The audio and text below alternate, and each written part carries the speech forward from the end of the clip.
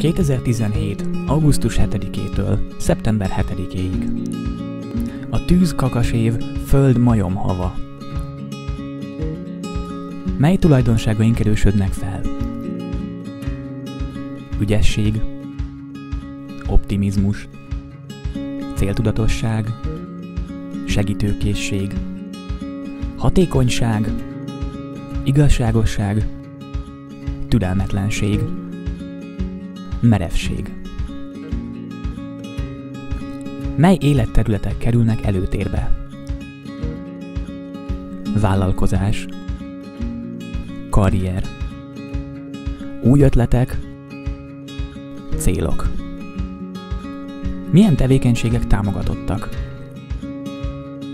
Új dolgok elkezdése, régiek befejezése, változtatások, alkotás, kreativitás, szellemi kihívások. Milyen tevékenységek kerülendők? Hirtelenség, indulatosság, vagdalkozás. Jó tanácsok. Többet kapsz, ha elengeded. Pórul jársz, ha nem ereszted. Vagyis most még a rossz dolgok, kellemetlenségek is valami jót hoznak. Azért egy kis rugalmasság jól fog jönni. Érdemes nyújtó gyakorlatokat végezni, edzeni.